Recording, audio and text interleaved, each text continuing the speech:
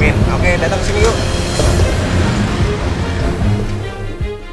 Lama tak terdengar namanya, aktor FTV Sidik Edward mendadak jadi buah bibir warganet. Bagaimana tidak, Sidik Edward kini banting setir menjadi penjual cilok di pinggir jalan. Sementara dulu wajah tampan bulenya kerap warawiri di layar kaca bermain berbagai judul sinetron dan FTV.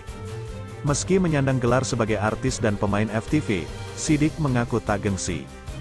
Buang gengsi, ngapain malu kita ngomongin buat keluarga, apalagi buat diri sendiri, pernahlah ngerasa di tahap gengsian itu. Cuma akhirnya gengsi itu nggak nguntungin, ya sudah buang aja gengsinya, ungkapnya. Disinggung lebih enak bermain FTV atau berjualan cilok, ia merasa saat ini lebih nyaman berusaha. Tapi ia tak memungkiri untuk terus berkarir di dunia FTV. Ada udah mulai seperti itu nyaman dagang, dalam artian usaha ya insya Allah pengin berkembang lagi. Tapi nggak memungkiri untuk syuting lagi tetap masih ada keinginan, karena secara langsung berawal dari entertainment. Kata Sidik, sejauh ini, Sidik berjualan sendiri dibantu oleh istrinya. Sidik akui penghasilannya lumayan, aku sampai sekarang jualan sama istri berdua aja tanpa karyawan. Itu baru sebulan, sehari, seribu butir 800 rupiah ribuan lah kotornya, ungkapnya.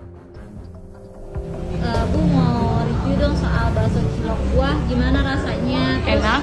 puas gak gitu? puas banget. Satu harganya murah. Terus tanpa sambal tanpa saus sudah enak kuahnya. Terus ditambah lagi sambalnya juga enak. Padahal aku belum pakai saus.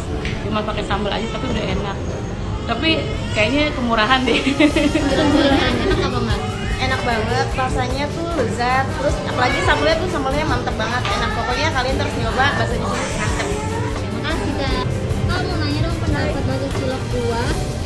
enggak? top Buahnya sambalnya enak kuahnya berasa pokoknya